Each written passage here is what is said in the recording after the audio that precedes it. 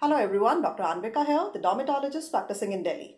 And today we are going to talk about the most commonly done cosmetic procedure across the globe that is laser hair reduction. Very first I am going to demonstrate the steps and secondly I am going to answer all the frequently asked questions about the same. So today we have a beautiful lady with us who wants to get rid of the unwanted upper lips hair. Very first we are going to mark the region where she wants to get rid of it. So here I mark the region Secondly, we shave the hair on the concerned region. I'm just opening the new blade for her. Kindly close your eyes.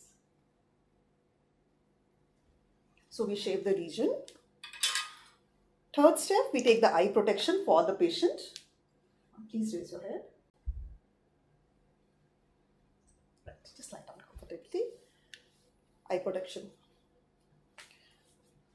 uh, now we use the US FDA approved lasers and we set up the laser settings according to the patient's skin color, hair color and the hair type.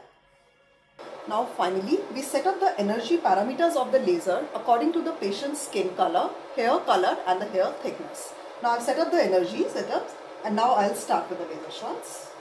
We'll start with the laser shots now. So here I place my laser and I start doing the shots.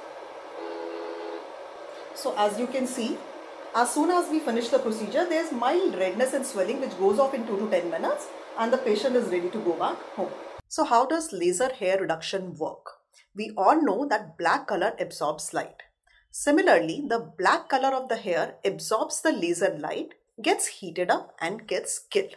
This is how laser hair reduction work. Now, how many sessions are required?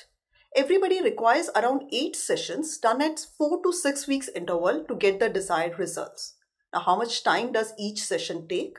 That depends upon the area. Suppose if you are getting the upper lips done, it hardly takes 5 minutes, underarm 5 minutes, the full arms might take half an hour, full body takes around 2 to 3 hours per session.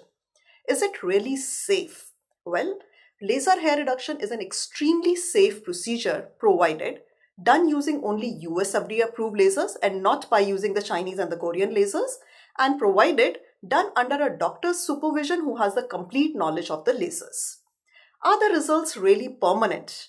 Well, once you have killed the hair of the skin, skin will definitely try to renew the lost hair.